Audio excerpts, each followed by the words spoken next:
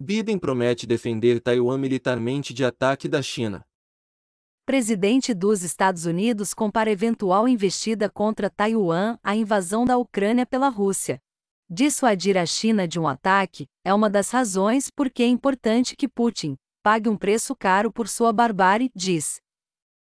Assisto agora, em Últimas Notícias. O presidente americano, Joe Biden, afirmou nesta segunda-feira, 23, durante visita ao Japão, que os Estados Unidos interviriam militarmente se a China invadisse Taiwan. O senhor não quis se envolver militarmente no conflito na Ucrânia por razões óbvias, disse um repórter a Biden, durante coletiva de imprensa ao lado do primeiro-ministro japonês Fumio Kishida em Tóquio. Está disposto a se envolver militarmente para defender Taiwan? Abre aspas. Sim. Fecha aspas. Respondeu Biden. Abre aspas. Esse é o compromisso que fizemos. Fecha aspas. Biden disse que qualquer esforço por parte da China para usar força contra Taiwan se trataria de uma ação similar à invasão da Ucrânia pela Rússia. O presidente americano descarta um conflito militar direito com Moscou, mas enviou bilhões de dólares em auxílio militar que ajudaram a Ucrânia a impor uma resistência mais forte do que a esperada à ofensiva russa.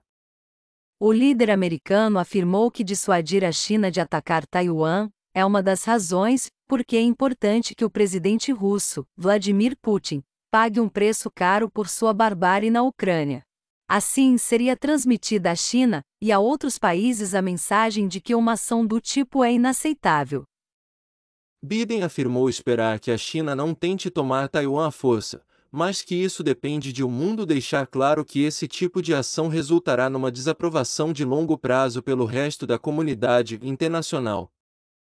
Os Estados Unidos tradicionalmente evitam oferecer uma garantia assim explícita de segurança a Taiwan, mantendo uma política de ambiguidade estratégica sobre quão longe estariam dispostos a ir se a China invadisse a ilha. A Lei de Relações com Taiwan de 1979, que regula as relações entre os Estados Unidos e a ilha, não requer que Washington haja militarmente para defender Taiwan de uma eventual invasão chinesa, mas garanta que o território tenha os recursos para se defender e evite qualquer mudança unilateral do status de Taiwan por Pequim. Após as declarações de Biden, a Casa Branca logo afirmou que os comentários não refletem uma mudança na política dos Estados Unidos. Em resposta, a China afirmou nesta segunda que está pronta para defender seus interesses em relação a Taiwan.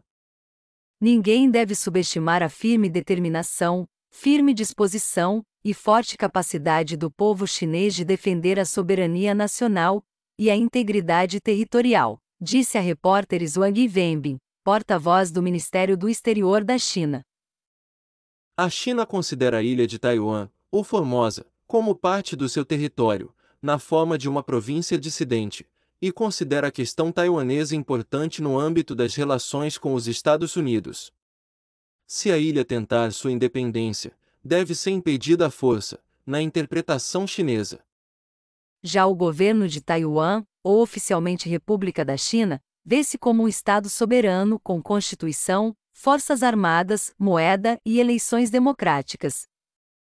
Nos últimos anos, Pequim intensificou suas provocações militares contra Taiwan com o objetivo de fazer com que a ilha aceite se unificar à China comunista. Eles já estão flertando com o perigo, disse Biden. Sob a política de uma China, os Estados Unidos reconhecem Pequim como o governo do país e não mantém relações diplomáticas com Taiwan. No entanto, Washington mantém contatos não oficiais com a ilha, incluindo uma embaixada de facto em Taipei, a capital, e fornece equipamentos militares para a defesa do território. Abre aspas. Concordamos com a política de uma China. Mas a ideia de que ela Taiwan pode ser tomada à força simplesmente não é apropriada. Fecha aspas. Disse o presidente americano. Essa não foi a primeira vez que Biden prometeu defender Taiwan contra um ataque chinês. Assim como agora, quando fez em outubro passado, representantes da Casa Branca logo afirmaram que a política americana para a ilha não havia mudado, e analistas classificaram os comentários de uma gafe. Se inscreva para acompanhar a cobertura desta e de muitas outras notícias. Veja também essas outras notícias que podem ser do seu interesse.